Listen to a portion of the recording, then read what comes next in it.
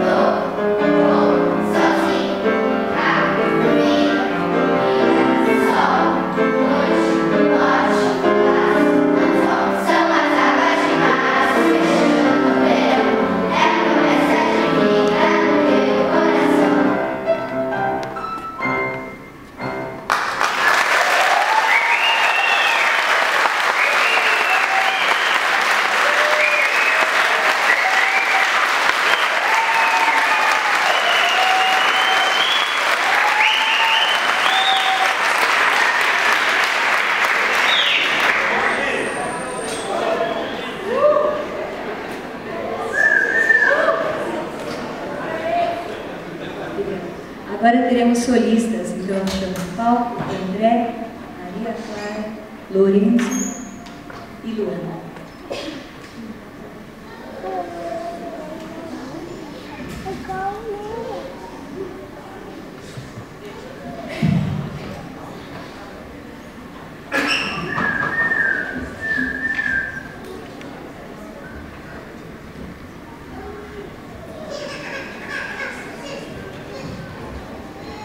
Alô? Alô? Alô?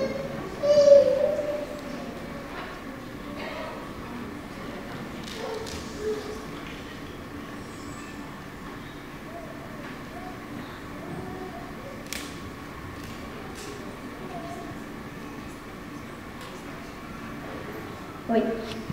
Ei.